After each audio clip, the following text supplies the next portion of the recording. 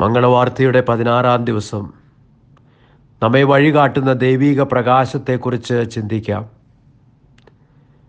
കിഴക്കുതിച്ച നക്ഷത്രം രക്ഷകനെ കണ്ടെത്താനുള്ള വഴി വിശ്വസ്തയോടെ കാട്ടിക്കൊടുക്കുന്നു.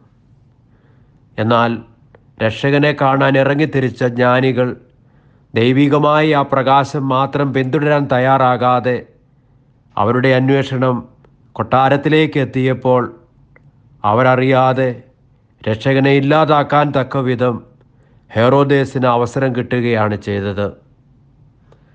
നമുക്ക് ചുറ്റും വഴികാട്ടുന്ന നക്ഷത്രങ്ങളും വഴിതെറ്റിക്കുന്ന കൊട്ടാരങ്ങളുമുണ്ട്.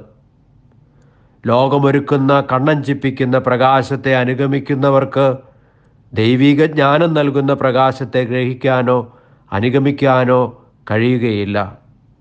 മാത്രവുമല്ല നമ്മളിലെ ദൈവീക സാന്നിധ്യത്തെ ഇല്ലാതാക്കുകയും ചെയ്യുന്നു.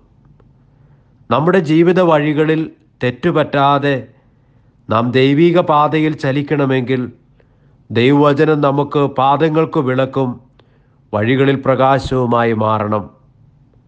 ഒരേ സമയം ലോകത്തെയും ദൈവത്തെയും സേവിക്കാൻ കഴിയുകയില്ല എന്ന ബോധ്യത്തോടെ ചെറിയ കാര്യങ്ങളിൽ പോലും ഏറ്റവും വിശ്വസ്തയോടെ ദൈവവചനം അനുസരിക്കാനുള്ള കൃപയ്ക്കായി നമുക്ക് ഈ ക്രിസ്മസ് ദിനങ്ങളിൽ പ്രാർത്ഥിക്കാം.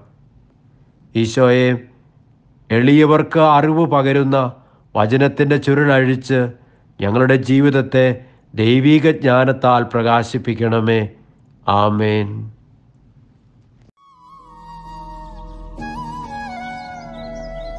നമ്മുടെ കർത്താവ് സ്വാമിസിഹായുടെ കൃപയും പിതാവായ ദൈവത്തിന്റെ സ്നേഹവും പരിശുദ്ധാത്മാവിന്റെ സഹവാസവും നാം എല്ലാവരോടും കൂടെ ഉണ്ടായിരിക്കട്ടെ.